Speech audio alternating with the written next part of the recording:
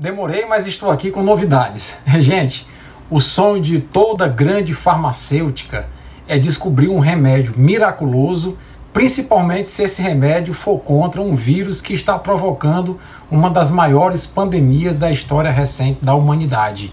A Merck, gigante norte-americana dos medicamentos, anunciou que descobriu um medicamento via oral que reduz em até 50% as internações e as mortes por Covid-19. Eu vou te mostrar esse medicamento aqui, acompanha comigo.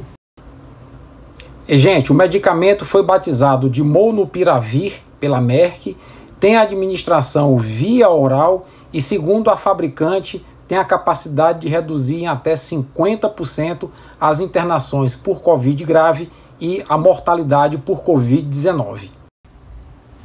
E esse achado é tão importante que as ações na bolsa de valores da empresa Merck dispararam no dia de ontem.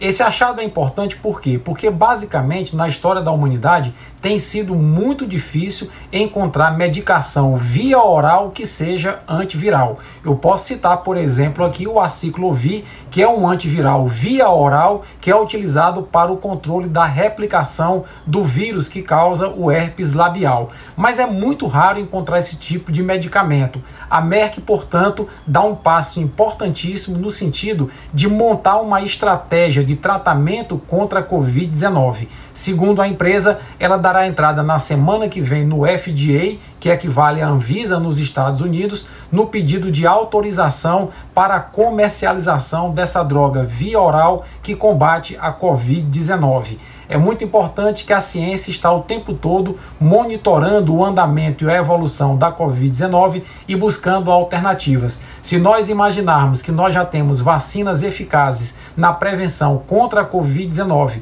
e agora poderemos ter medicamentos que tratam as pessoas contaminadas com a Covid-19, nós daremos um importantíssimo passo no sentido de vencer a pandemia de Covid-19. Acredite na ciência, tenha consciência, exija vacina já para todos. E, se Deus quiser, teremos em breve medicamentos anti-Covid, que não seja aquele kit Covid, aquele kit tratamento precoce que não tinha eficácia científica alguma comprovada. Forte abraço e até a próxima.